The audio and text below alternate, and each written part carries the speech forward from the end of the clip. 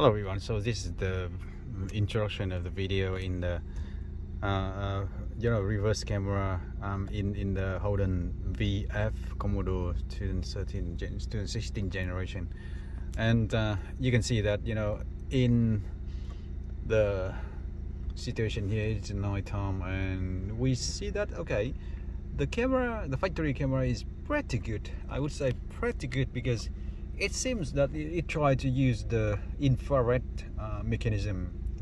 So you can see a bit of uh, greenness you know grass even is in the night time so that's kind of um, the, the, the technical terms. But you can see that there's no way we can see the number plate on that trailer um, which you know for for the new camera upgrade you, you would see much detail of that one.